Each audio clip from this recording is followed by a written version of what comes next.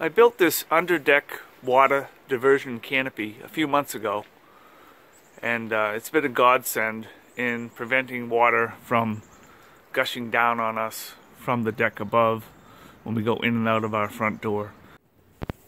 If you have a similar project you'd like to tackle, please check out this video. Here's the deck drain fasteners I purchased.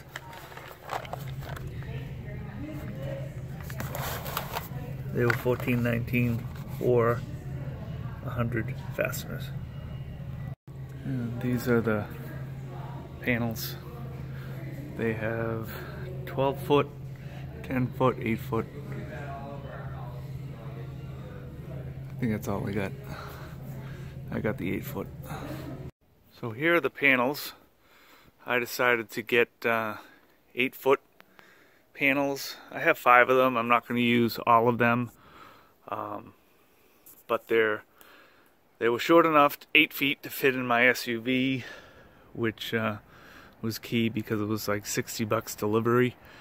Um, each of the panels was roughly $15, so um, it's not real expensive. Notice they have ridges, so the water will run down the ridges.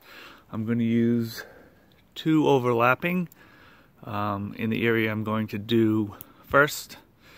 Um, I also built some of these holders.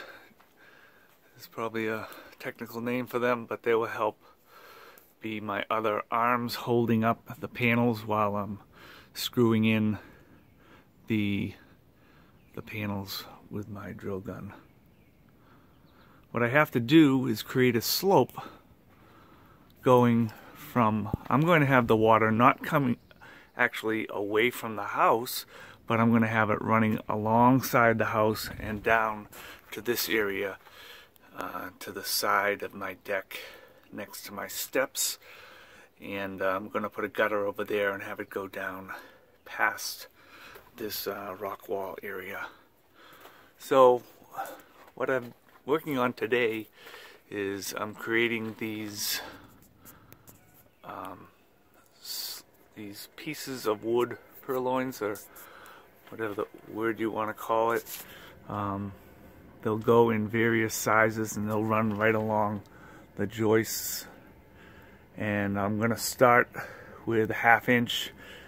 Then every joist I'm going to add another quarter inch until I get to the end I think it's roughly three inches uh, drop so um, that's a should be a good enough slope for draining the water away from the door and away from the house.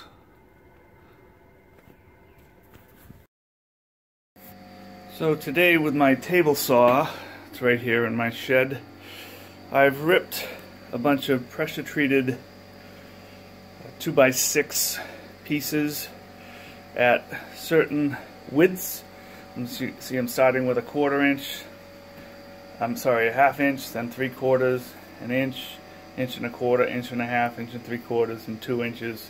I think I need two or three more, uh, one or two and a quarter, one or two and a half, one or two and three quarters.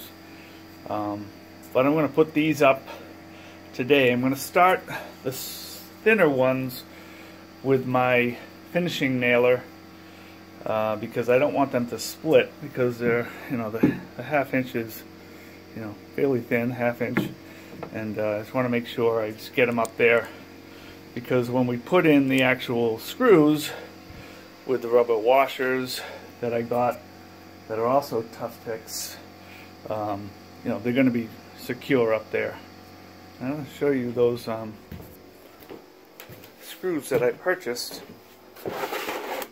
They're called Tuftex deck drain fasteners. And um, you know, they're really perfect for this application because they're actually the same color as the panels. I got all this stuff at Lowe's.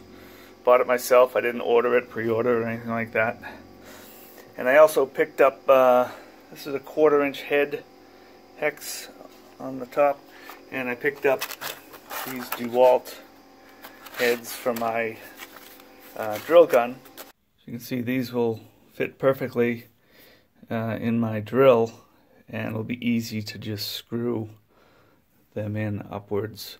Um, there's a metal washer and a rubber washer at the bottom so that it seals and prevents any water from flowing down, which is exactly what we're trying to prevent.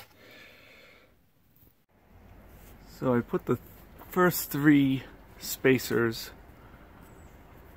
on with my finishing nailer. It's one and a quarter inch nails. Uh, this one just just barely up there. That that starts with a half, three quarter, then an inch. Um, for everything else, I'm going to just use screws so that they'll stay up there. I just didn't want to split any of these smaller, thinner pieces. Um, there'll be plenty more screws in there once I start attaching the Tuftex panels. Okay, so I put up uh, first one, two, three, four, five, six uh, spacers um, at varying widths, uh, going down to that's one and three quarters at the end, and I have another one that's two inches. I had to notch it to get around a section right here. Um, and I have to pick up a little bit more wood so I can rip the last three uh, and then we should be all set. Also need to get some longer screws something like three to three and a half inch screws so they go up into the into the joists. So I've finished with all of the spacers that create the slope. Where the water is going to run down this way, the way I'm walking, and then into a gutter at the end of my deck. That last piece is shorter than this one here because there was already a longer, looks like a 2 by 10 at the edge of our uh, 2 by 8 at the edge of the deck. So I just need to make a make a piece that would get it down to I think it's two and three quarters uh, total from the top to the bottom. So now the next thing to do is to add the Tuftex panels, which I'll do tomorrow. Well, here I am on Saturday morning. I have all of the wood inserted at the various levels to create the slope going down to this end.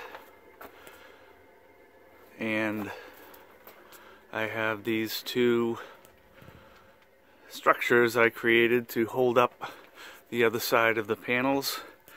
I have my Porter-Cable drill gun and my Tuftex screws with the the rubber washer and the metal washer above that. And I have the attachment uh, for the screw into which the hex um, head will stay. And it's actually magnetized as well so it stays in there. And you can see the screw doesn't need pre-drilling which is great. So I'm ready to put up the panel Okay, here's the first panel going up. I'm overlapping it past the joist because I'm thinking of filling this area in later. So I'll be doing, adding some more panels over here just to make it look nice. I live in an octagon home, so nothing's really at right angles, so you have to deal with that issue. Um, so here are my structures helping me hold up the actual panels. And I've put in three screws thus far. Just want to make sure everything is square and lined up um, before I move forward. So keep going. Well here's what it looks like so far. We have an overlap in the middle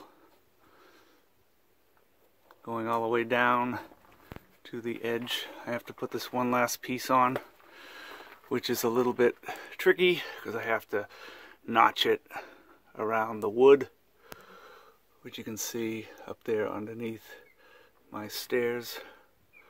But hopefully it'll work fine. Uh, we'll see. We're gonna have to test it out with some, either wait for a rainstorm or just use a hose, which which is what I'll probably do. Anyway, we'll come back when it's done. Here it is Sunday morning, and I'm going to fill in this area out to the diagonal so it looks finished. But this is what I did yesterday. Looks pretty good. I have to uh, put some more screws in to cover up those seams, but other than that it looks came out pretty good. I want to, also want to put some molding along the edge so that it looks better. But those are finishing touches. But today I'm going to work on this section. Uh, I have a quarter piece, quarter inch piece of wood I'm going to attach to this joist here um, just to continue the slope. Um, this joist here with the with the uh, screws already in um, was a half inch so that's a quarter inch so it's still sloping down and that's just going to have nothing on it uh, the, the last joist so I just put a quarter inch piece on this joist, the second joist in from the end, because the joist that's where these screws are, are is at a half inch. So, and this final joist of the front one, I won't have any wood at all because it's going to slope down to that end over there. Big challenge was getting around this pipe. It's coming up from my electric meter and there's also some cables uh, for my cable TV and internet. So I ended up cutting out a template here. Hard to see template, but then I modified it on the final piece here to have the shape of the pipe and a notch for the cable and then a notch for a corner board on my house. Now I'm going to put this up. Well, the project is essentially done. I added some cedar kind of molding around the edges just to give it a finished look. I actually created some cedar and kind of cut it into the underneath of the stairs to make it look nice. I added the gutter, which I'll go over and show you how I did that. The gutter is hardly noticeable when you walk in the house. Here it is here. I bought a hanger, an edge hanger here which fits in perfectly with this gutter that I got from a neighbor. The water will flow into the gutter. It's another hanger here. I bought them at Lowe's.